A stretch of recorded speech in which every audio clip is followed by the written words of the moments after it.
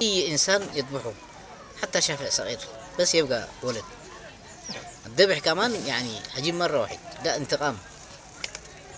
دي مش حرب حرب قبلية. يعني انت حكومة ممكن يكون بيناتك في سياسة صح؟ ممكن يكون في حرب. طيب إذا قلنا إذا حرب سياسي كيف إنك أنت حكومة؟ إذا ما انتقام تحرق لك مصنع بتاع السكر تحرق لك اللي بوزع الكهرباء. ده كيف يعني حكومة؟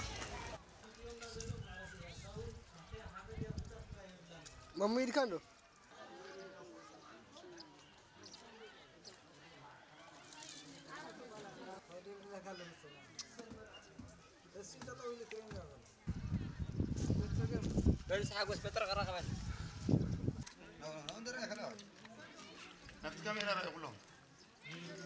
يا الناس ديل جايين بعكواز بالسكاكين دار يدقوا المواطنين وراهم الجيش شوفي.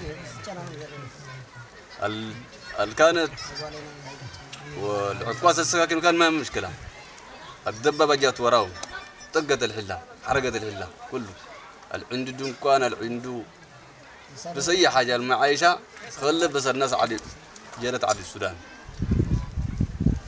جات السودان خشت السودان. حسي لحد الآن ما لقينا حل. anniversary which is a lower.